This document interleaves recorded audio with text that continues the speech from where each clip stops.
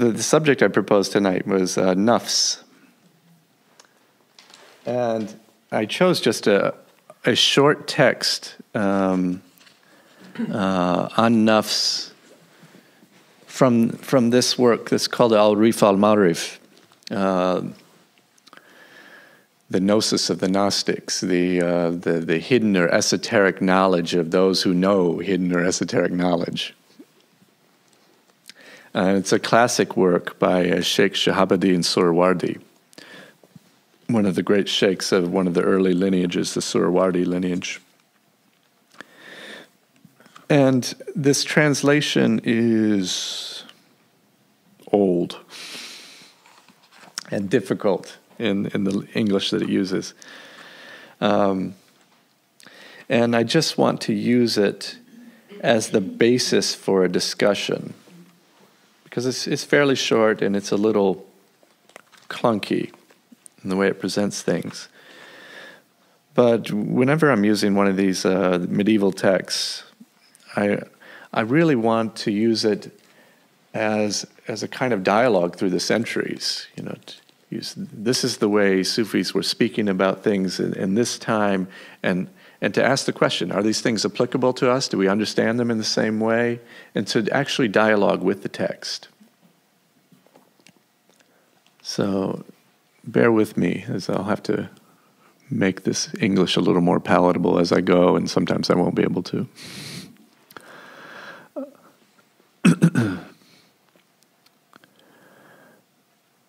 so uh, Sheikh Shahabuddin Suhrawardi says, Nafs has two, he says, Nafs hath two meanings. Nafs has two meanings. And I don't want to translate it just yet, this word, um, because uh, many of you know it, um, and it's gotten a bad rap. And, you know, um, and it deserves to be kind of unfolded. You see, there's more complexity to it. So, nafs has two meanings. Nafsi shai, the nafs of a thing, which is the that or zat essence, and the hakikat, the truth of a thing. Thus, we are told, by its own nafs, a certain thing is standing, is established. So, nafsi shai, the nafs of a thing, which is the zat, the essence, and the hakikat, the truth of a thing. So that's our first definition of nafs. Nafs is somehow the essence of something, whatever it is. The essence of a flower, the essence of a person, the essence of a unique personality, the essence of water. Whatever that essence is, is the nafs. So that's from one perspective. So he quotes, and I don't know what he's quoting here by its own nafs or essence, the thing stands. It's anchored in its own essence. This one is a, a little more difficult to translate. Nafsi natika i insani that translates as the human rational nafs. But natika is a, is a word that can mean um, uh, rational or speaking. So this is uh, referring to.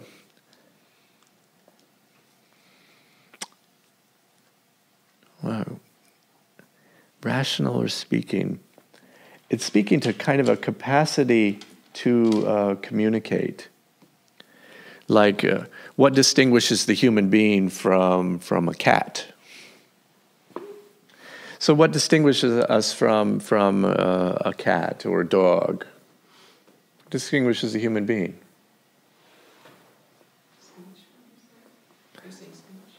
Well, that's what's often said speech. And more general than that, the capacity to communicate on different levels. to communicate and understand. Um, one interesting thing about us is that we're amazing mimics. That when we're in nature, we're constantly mimicking anim- animals and their noises, and we have the capacity to do it. Um, and to, um, you know, in in you know in uh, primal societies to to mimic the actions of the animals that we hunt, you know, for food and and to learn their ways. And and we have this, you know, amazing reflexive awareness, but but also but often it's this um, this capacity to know self and other. Not that we always live up to it. Often, quite often, we're not at all, but we have this capacity, and it's often associated with uh, the capacity for communicating and receiving communication as a, a distinguishing faculty.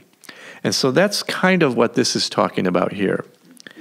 This, this essence of being able to um, communicate and receive communication, which is the essence of the graces of the body, which they call the natural human soul. So, this is a kind of nafs. And there's a luminosity to it, which is bestowed from the lofty soul. And that luminosity, through that luminosity, the body becomes the place of revelation of both iniquity and piety. So, what this is talking about is that um, that in the human being there is a kind of vital soul, an animating principle at work. And that animating principle at work in us allows us to, um, uh, to give and receive at a very high level. But, but it's not determined whether we'll do good or bad things with that. It's, it's, a, uh, it's a general thing, it's a, it's a neutral thing. Uh, we'll, we will both uh, use in good ways and abuse this faculty. So it's, it's saying the faculty itself is, is neutral, this communicating essence. Now, the marifat, the esoteric knowledge of nafs, is difficult to discern in all its expressions for nafs has the nature of a chameleon. So, marifa is esoteric knowledge, more specifically, experiential knowledge, as opposed to head knowledge. Not just things that we have the capacity to understand with our minds, but we know it because we've experienced it, we've touched it, we've tasted it. And so he's, now he's talking about how do we know this thing called nafs? And what is nafs? Essence, uh, a vital capacity. We might also call it the self. And that may be more helpful than the ego right now. Because the ego has gotten such a bad rap that we can't even talk about it in, in, a, in any decent way anymore especially in spiritual circles. Uh, it's gotten ridiculous. You know, like ego is this horrible thing.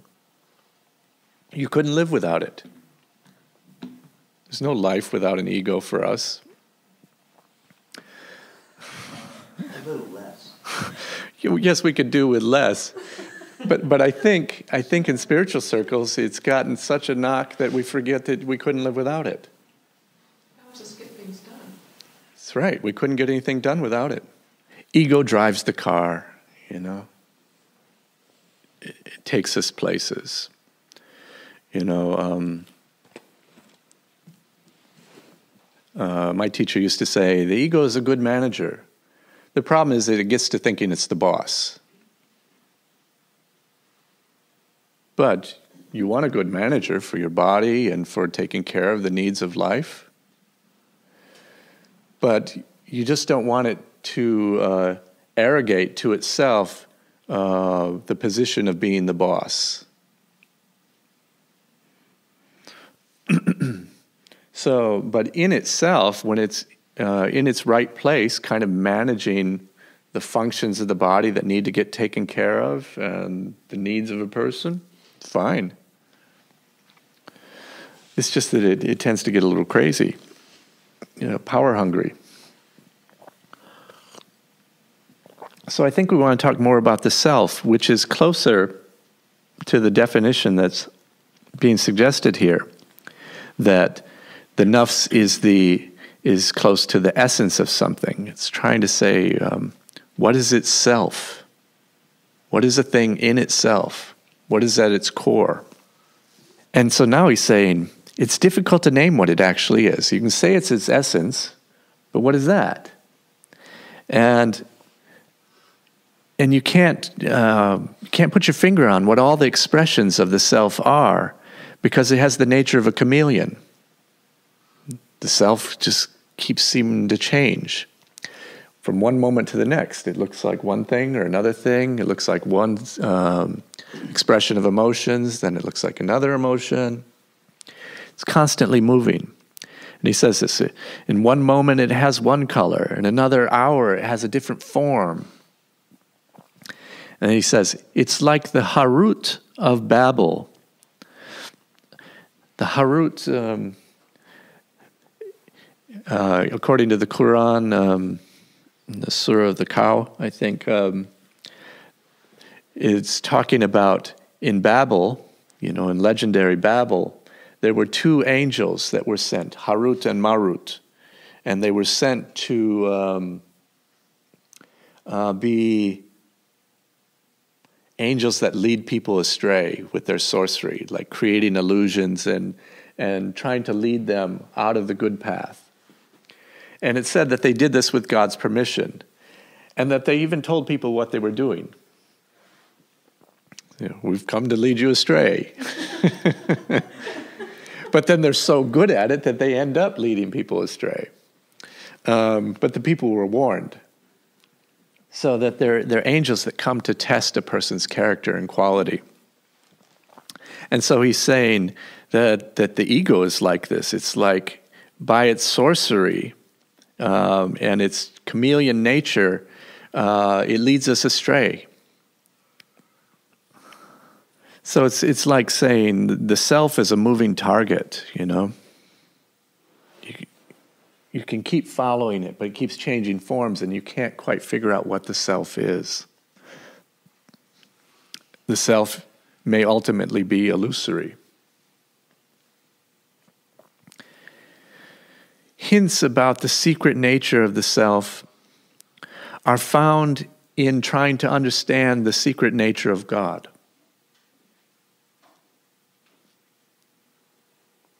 You hear that? that we can begin to understand something about the, the kind of esoteric nature of the self um, by meditating on the esoteric nature of God or the kind of um, hidden knowledge of God. What do we know about God?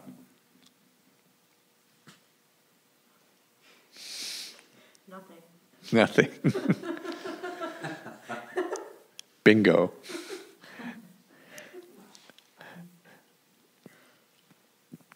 So, the shadow of God. Mm-hmm.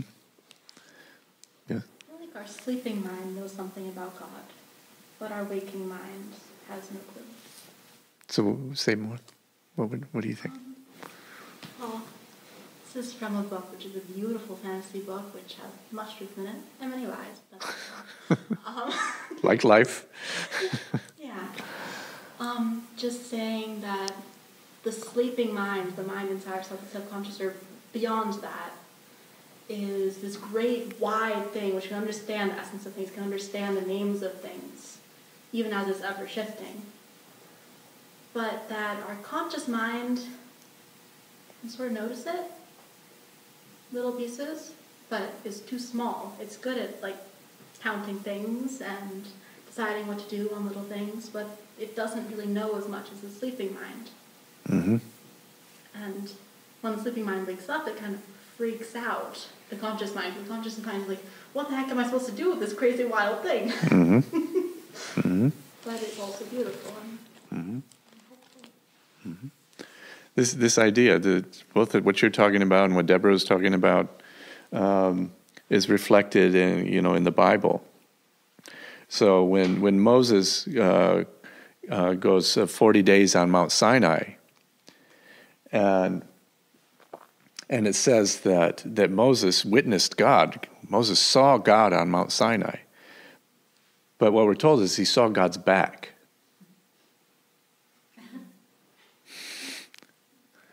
and and it was because God's face couldn't be known. So just hold that for a second. And then later on, uh, there's a passage where um, where um, Elijah is meditating in a cave, and he's compelled to stand up and walk to the entrance to the cave, and and there, there's a kind of a rushing wind, and there's a you know a quaking, and there's a fire and lightning, and and he's having these realizations to say, "Oh, God is not in the fire. God is not in the quaking. God is not in in the rushing wind." And yet there's a uh, kol de, de mama de daka, kol de mama daka, a still small voice. And and the whole sense of it, both what's happening with Moses and what's happening with Elijah, is that God passed by. That's why Moses sees his back. God has passed by, and it's it's kind of uh, an awareness after the fact. That's why it talks about God's back, because there's an awareness after the fact of oh something holy was here. I didn't, I couldn't quite see it face to face but it kind of comes afterwards. And and it's, it's kind of what you're saying. We we can't grok the whole thing. You know, because if our minds actually had our, the capacity to to be to envelop God, then we would be God. You know, but we don't have that capacity. But there is uh, that. That's not to say that we can't have a sense of something sacred or something holy or have the taste of it in our mouth or, or feel like uh, there was a something there. And that, that sense of a something is very important because we don't know what it is. It's just a, what is that, you know? Where's Pauline? We need French, right? Et je ne sais quoi? You know, that doesn't express anything except that the expression that, that it's, it's, we can't quite uh, name it, it's ineffable. And yet, there's a part of us that knows it. And the interesting th- thing to think about is um, we can't really know anything that's not us, that we're not related to What's being said here is that um, um, uh, that if we can have this sense of the sacred, there's a part of us that's sacred. You know, we can only know what we can connect to. And so we may not be able to put our arms around it, the, the you know the arms of our mentality around it, but that we can connect to it means that there's a, there's a deep connection in us that knows it, in essence.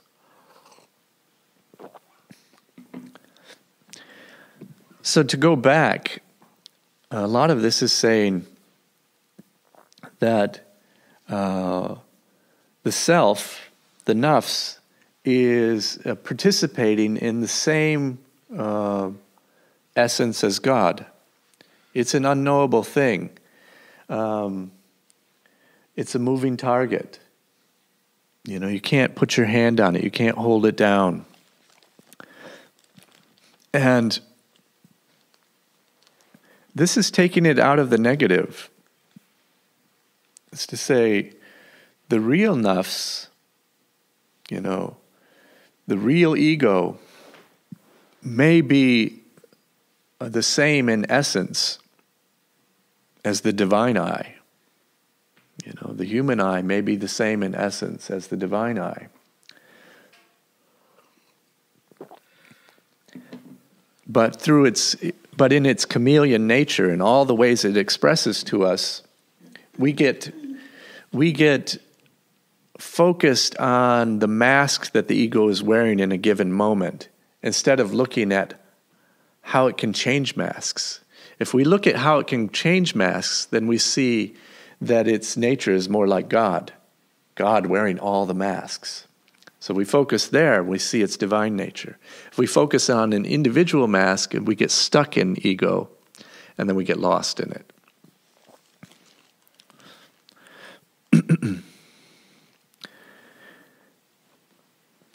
he says on the spiritual path, we have basically um, three relationships to the ego.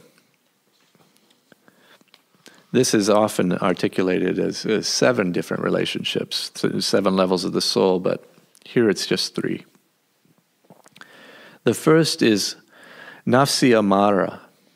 Nafsi amara. And that means the, um, the commanding self, uh, almost the tyrannical self. Um, we could also say uh, this is the, the animal soul or the carnal soul.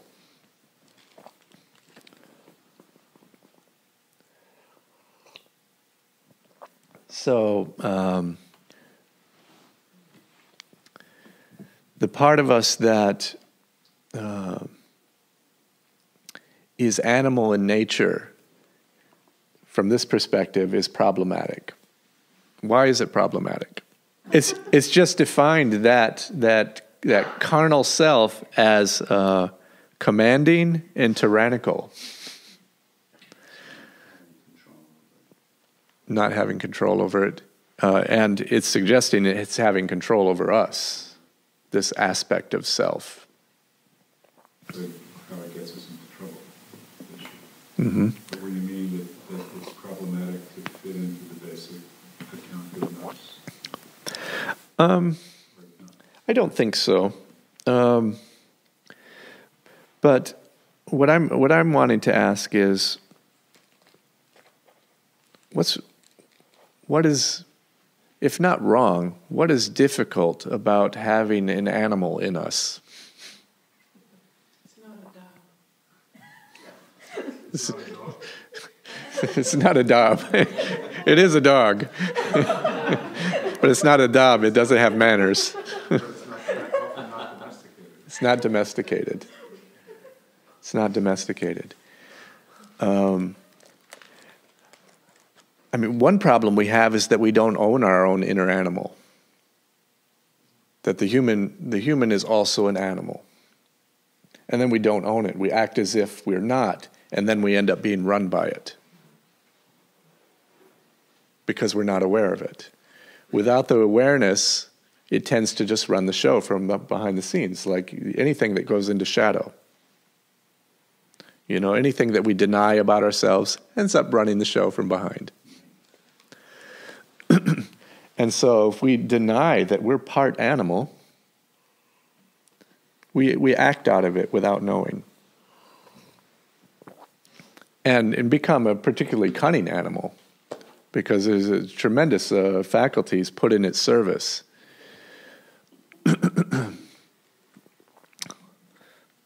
so, what's the problem with that? Where does it lead us? Or is it not problematic? Self interest. But what would it look like? What would be a self interest that. Um,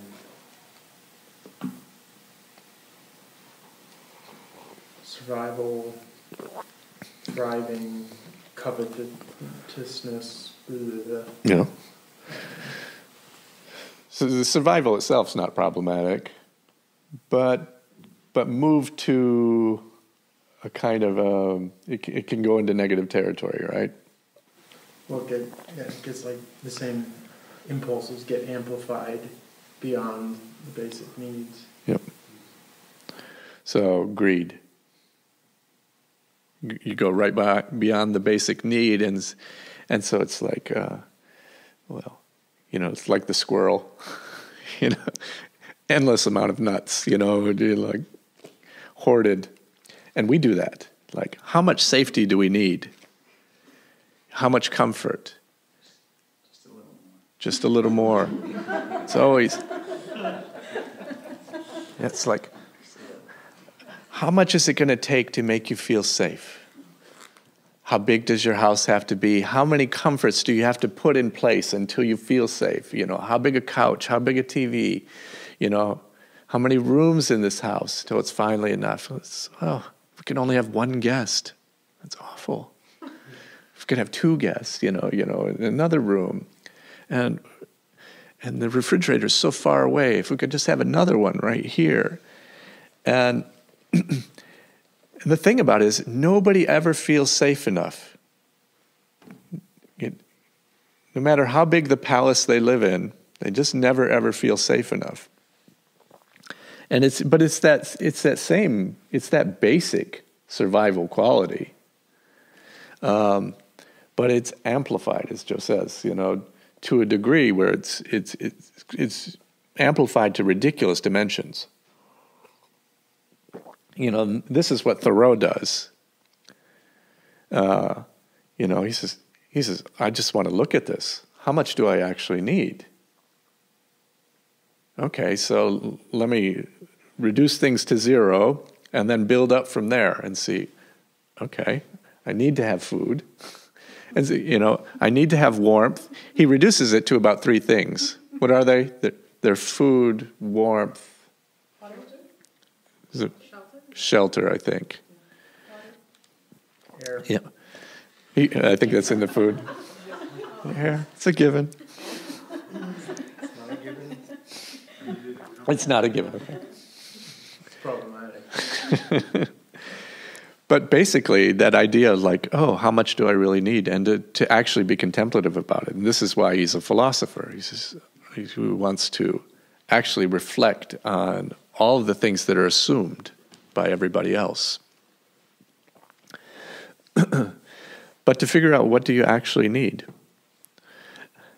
And, and he figured out that one of his needs was leisure. that he wanted to read books. He wanted to spend a considerable amount of time reading books. And, and he figured that's a human need. And so, how will I support that? And so, you know, it's, a, it's fascinating to watch him go through this process. You, you read Walden. And, and so, he was looking at the animal needs, but then also the human needs, which are not specifically animal. They're not necessarily, well, in as much as a, a human being is an animal, but of a particular type that has different needs than other animals. You know. And for him, that included reading. so, this um, this animal self uh, requires some attention. It requires uh, us to to give it give it some thought. Here it's it's framed in the negative, you know, as as you know, leading to all kinds of bad ends. But if we would just give it its proper attention, I think we would understand ourselves a lot better. Like, as a therapist for years, it became remarkably clear that lots of things that people were coming to me with uh, that were framed as um, psychological problems about which they had all kinds of guilt or different things were really just them trying to respond to biological drives that were driving them crazy. Because they weren't really taking into consideration the basic biological drive. That, that our biology, our inner animal, compels us to certain ends, which we, which we then judge. You know? If you're a teenager, this is, you're basically a, a biological drive all the time. and but then we're, we're not so aware of the drive itself as, as an animal drive, and we just keep thinking, what is wrong with me? What is wrong with me? Why do I keep doing this thing? You know, why, why do I feel this compulsion? And, and we tend to think, you know, um, well, I'm a bad person because I want that. Where, whereas if you just take account of the drive, you'd say, it's working, it's doing its thing, and it may not to be my, my advantage in my life to allow that drive to exercise itself right now. But if you if you had that awareness of your inner animal, um, it would save you a lot of money with a therapist. Really, it would. Because a lot of it is just that. Um, um, drives trying to accomplish themselves, and then there are consequences in our lives that are that are psychological. Um, but forgetting the animal, we think they're just psychological, and we can't explain them to ourselves. Like, what's wrong with me? What's wrong with me? Why did I do that? Why did I do that? And and we think that there are um, also purely psychological explanations for all of these things. When some of them are just basic biological drives. It's not always that complicated. So, this is to say, you know, it doesn't have to be judged. It's not positive or negative. It can lead to positive and negative consequences. But the drive itself is just a drive. You know, it wants what it wants. It wants what the planet wants renewal, you know, it wants diversity. You know, our biological drive t- tends to get that, especially uh, when it's very new. You know, um, systems in nature love diversity because diversity is new energy. You know, it's vitalization. You know, revitalization. Uh, things that become closed systems tend to die out because they don't have enough diversity enriching in them. They get stagnant and die out. So nature loves diversity, and the way you get it in human beings is that you've got a drive that's so strong, you know, through teen years and early 20s, that it, it will cause you to collide with the uh, the almost exact wrong person for you, um, but but who has genetic traits or opposite genetic traits, or they're of different races or different things, because the planet is just trying to get diversity all the time, trying to get, and it, and it, it it causes things to slam together, to crash together, create these explosions not necessarily great for our psychology and for, for our, the life that we want to live from there on out. But the planet gets what it wants. It's going to get it. And then we have to deal with the consequences. And even saying that is weird. We have to deal with the consequences. We're the planet, we're an expression of the planet also. But it's this awareness, this reflexive awareness, that has two capacities. One capacity is to um, is to know, to help us know that we are the planet. And the reflexive awareness also tends to make us think that we're not it, us and it. And so we have to use it to know both. It's a fascinating thing.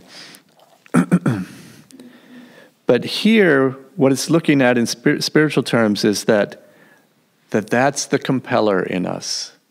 That, that animal drive is pushing us to do things that we would not.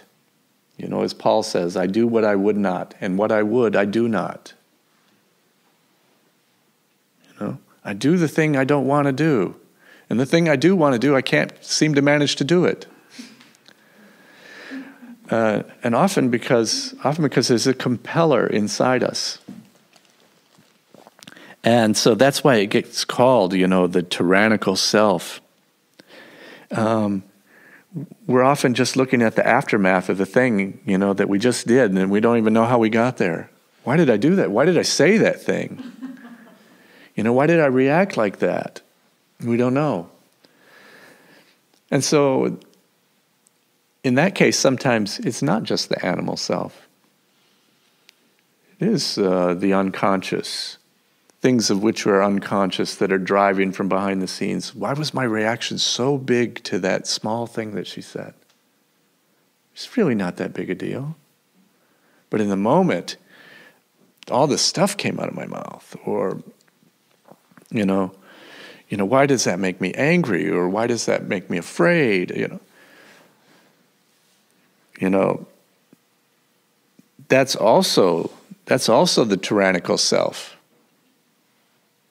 you know. So that's not just the the the animal drives but that's something that when we don't know why we do something that can be identified as the tyrannical self. If we acted and we didn't know why we acted that way. Which brings us to the, the next level of self um, the nafsi lawama which is the um, the critical self or the um, reproachful self, the repentant self, regretful is a good word. It has regrets. And that's what often happens after the tyrannical self has just acted. We've overreacted. We don't know why we've overreacted, but we've then are then standing in the fallout in our relationships with a with a lover or with a friend or with a boss. There's the fallout, you know, and then there we are, and we're like, what was that? What did I just do? And we're left with the consequences, and then we have the regretful self.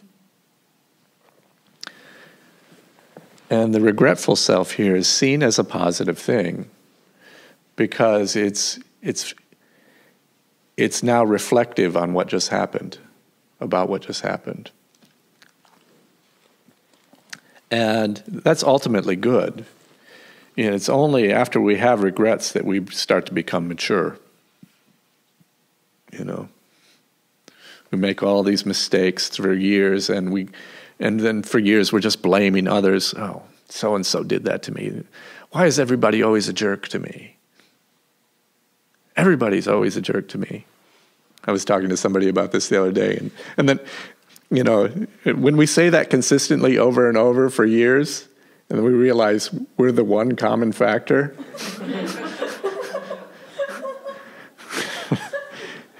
and you go, oh. Then, then, then you have the regretful self. Was it maybe me? Not necessarily, but you're at least a factor. You're the common factor and you can't do anything about anybody else.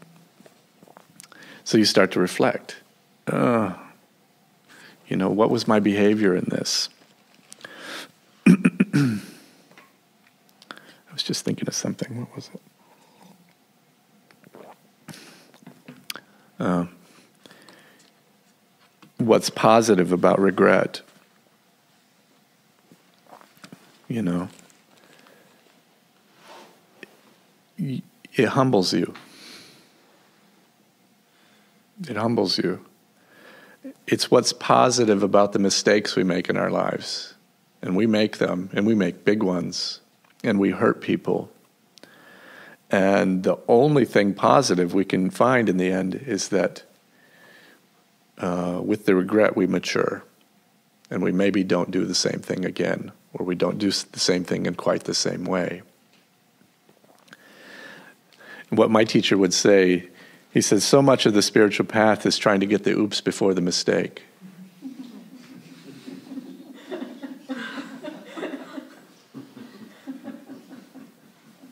oops, I did it again. And so you, you got the oops on the other side of the mistake. And, and it's just like through reflection, being aware, through this regretful self, being aware, it's just starting to move it back little by little, inch by inch. Being aware of the oops closer and closer to the mistake. Often we go, it's a couple years on. Oh, I ruined that relationship. I ruined it. I ruined that relationship, but it's three years later and it's gone. It's long gone. Starting to move it back closer and closer um, so that maybe it's last night I made the mistake and the next morning I, am full of regret. And I say, you know what? That was all about fear. That reaction I gave you last night, it was all about fear. I'm so sorry. If that, if that comes two years later, it's done. But next day, you might still be able to fix it, you know. And then to keep moving it back so that you're in the moment and it's about to come out of your mouth. And you can grab the oops before the mistake, hopefully. That's, that's what the spiritual path is trying to do. to bring uh, the reproaching self, the nafsi lawama, into the present moment. I will have regret after I say this. you know, after I do this thing. Uh, and even in my meditations before going out into the world, you know what? I have a pattern of behavior. Today, God, I would like to not, you know, uh, I'd like to step out of that pattern. I'd like to step out of that pattern. It's getting the oops before the mistake. So the nafsi lawama is, is seen as, as uh, important, as an important stage, as an important process. Um, ultimately positive, but can go negative. How can it go negative? The reproachful self. Or if you get trapped in And what would that look like? Getting it. trapped, Just, just beating yourself up all the time. beating yourself up. Yep. So would you, Never actually change anything, just hate yourself so much that you don't think you can change. exactly. Then that's that's valueless. Worse than valueless is negative. You know, uh, the value in reproaching oneself is enough kick in the seat of the pants to get up and do something. But just a kick in the in the ribs over and over and over doesn't help you get up, it keeps you down. and so um, in in Hasidism, they tend to talk about the use of two different words for sadness or for um, yeah, kind of regretful sadness. One is uh, atzvut, and atzvut means um, sadness, melancholy. You know, you know, and it's the kind of melancholy where today I don't get up. You know, I just turn over and I don't get up. And and then then there's another word that is merirut. Merirut is means bitterness. A taste of there's bitter, something bitter on my tongue. And what they say in Hasidism, they say uh, is not so helpful, but merirut is because bitterness says, get up. This is unsatisfactory.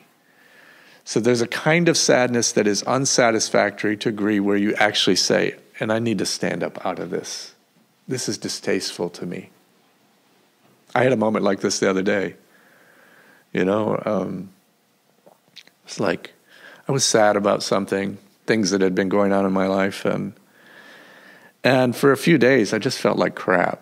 I mean, I'm going around, I'm doing my job, and I'm talking to everybody. And, and when I'm talking to somebody, I'm with them and, and in the moment, and I, I might feel fine. But when I was going back to my apartment, I was kind of dropping into this place of not feeling so great. And it'd gone on for two or three days, and I suddenly felt like, is this who I am? Is this, is this who I want to be? You know, This is this how I want to live? And I immediately like stripped off my clothes, got in the shower, picked myself up, washed myself up, cleaned my apartment, and said, said that, you know, this is who I want to be. You know, and I just took hold of it. That's Jabbar. Jabbar, yes. There was, there was a compelling quality. It was a, uh, compelling me from the future, saying, What do you want to be in life? Uh, because I was starting to feel like the victim of, of my own sadness. And, and I could have hung out there, I could have continued to hang out there, but it started to become distasteful to me. I started to become distasteful to me. and I had to wash it off. That's, that's. You know, like, like I'm, I'm going to take hold of myself and stand up because this is distasteful. Whatever, the, see, the thing that was sad in, in life was still sad. Um, and it wasn't in denial of it, I wasn't denying it. I was just saying, but, but am I going to live purely in reaction to that, you know, like drowning in that? Or am I going to embody my own best values? And we get to make a choice about it. so, if it's just kicking yourself, there's no point. You know, and that's a specific kick. That's a kick to the jaw, that's a kick in the ribs. But a kick in the seat of the pants, not so bad. Really not. Maybe not right away. And unless you do it constantly, because you can, you can like be in that space, being blank, not caring, just feeling awful, and then you like, okay, I can't do this anymore. This is sad. Mm-hmm. And then you start doing thing, and then building thing, and thing, and thing, and thing. I do this and this, and then it topples down Mm-hmm. to the ground or below. So, what's the solution, do you think? Build it up a little bit at a time, and be okay with going backwards a little bit, and then going forward. Yeah. hmm Yeah. And I think you also have to make a little room for being sad for a few days. Because um, un- until you've done that and even honored it, um, you won't get to the place of, of bitterness. But, but you'll know where the line is, you know? And you'll make a choice. Um, we all get to that place where you know we're sad and, and it's like and i can go on being sad it would be easy to do that or i can get up and, and we don't necessarily make the choice to get up but i think we usually know that we've we're, crossing that line and so what it wants to talk about here is there's a point where we need to repent of repentance. Repent of repentance. And that is where repentance is defined as uh, just being constantly in the sadness or kicking ourselves over our mistakes. There's a point at which you have to say, you know what? It was a mistake. But if I live in the place of the kicking myself over the mistake all the time, I'm also not living into the future and doing some, anything different. I'm reifying that reality instead of living into a new reality. And so there's a point at which we have to repent of the repentance.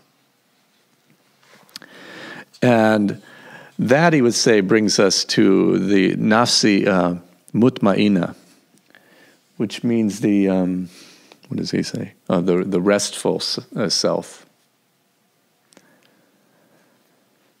And I don't know that that's the enlightened self, you know, as they sometimes frame it. We yield and accept, you know what? That was my behavior at that time in my life, and it wasn't helpful, and I did those things. And I don't need to kick myself anymore. I just accept that's what happened. I can't, there's things I can't go back and fix. I'll- I'm going to accept them. It doesn't mean I wash over them. you know, like they were good, or I I make them all, I make it all pretty. It's just no. It comes a point where you just accept certain things.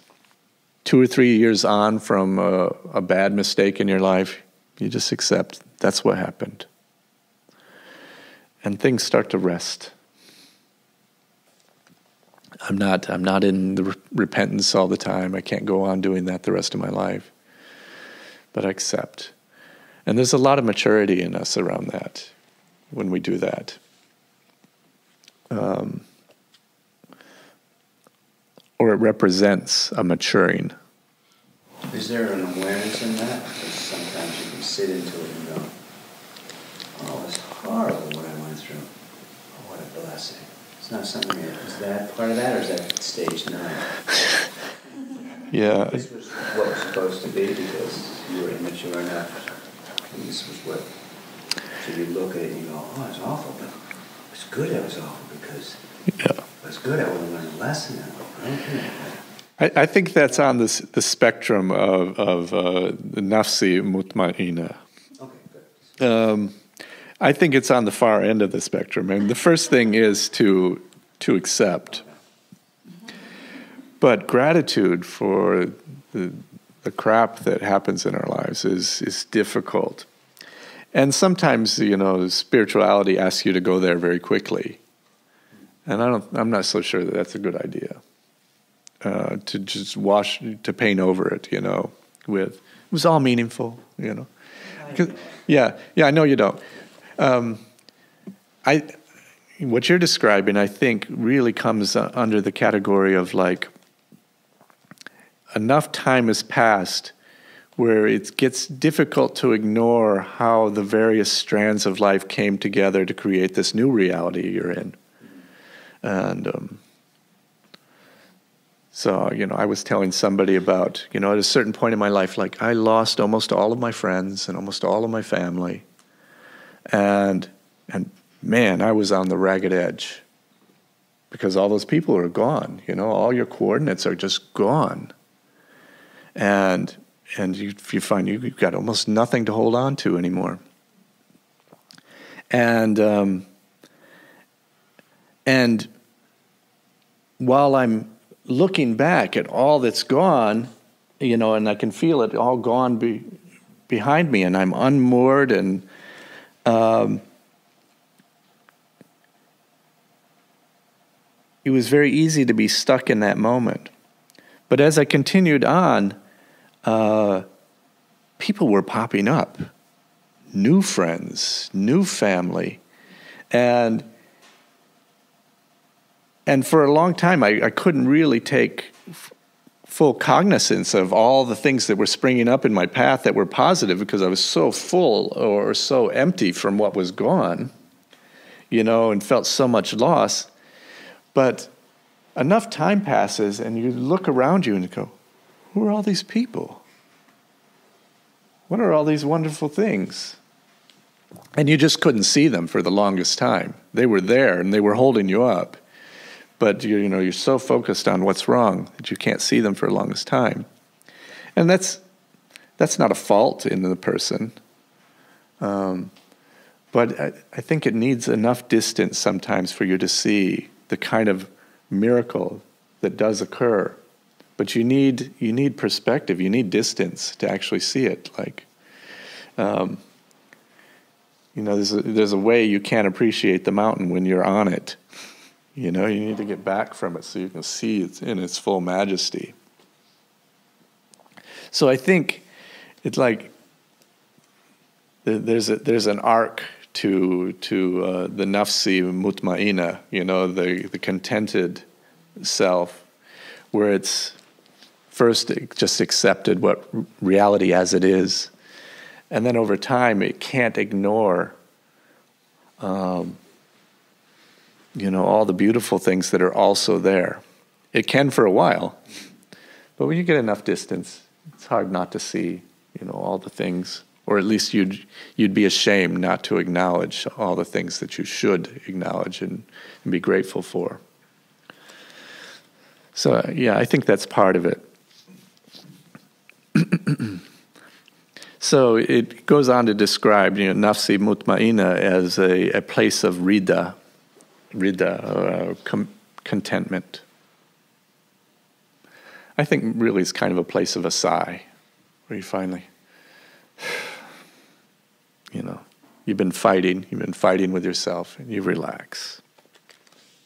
So I think in the end, this, this goes back to um, uh, what is the person in essence? What is the self? You know, what is the nafs? Um, it has all these masks. It's expressing in all these ways, um, and and it gets distorted. But in essence, there's nothing wrong with it. Uh, that that ego as manager is fine. That animal in us that is animal is fine. But uh, to be aware of those things is necessary. Like like Reb Zalman said again, like as long as as long as the, the ego knows it's a manager and not the boss, then it's fine. Um, as long as we know we have an animal that is driving us to certain ends, then we can still steer. But we can't steer at all if we don't know there's an animal in there. You know? So, and these, this is how the distortions happen. And there, as we said, there are distortions of an inherent nobility in us. And that inherent nobility is what he's trying to point to when he says that, that the nafs is really participating in the same essence as God's essence. And it's in the expressions that the distortions start to happen. But in and itself, there's, there's nothing wrong with it.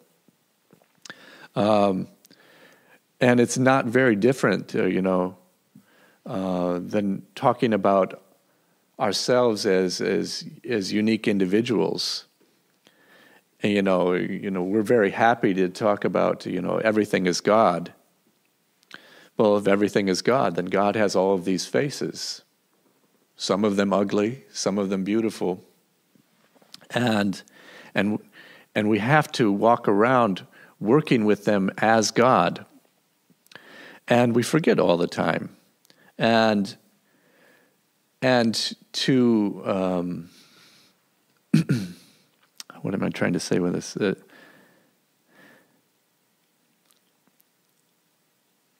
that the distortions that happen with ego are not so different than the distortions that happen with individual human beings that are divine. Um, and so the, the question to work with is like, how do I become most authentically human? Expressing myself in the most authentically human way in this life uh, as a way of um, exhibiting um, the, um, the beautiful diversity of divinity. Like, um, what is the most noble being that I, that I can exhibit? And it's not, I was talking to Peter about this the other day, it's not like the idea of a noble being and that we should all follow in this model. It's that each of us has an inherent dignity and nobility that is a unique expression of Netanel and of Joe and of Rahma and of Victoria, and they're all different expressions of nobility. Um, we all have our undistorted self that we can bring out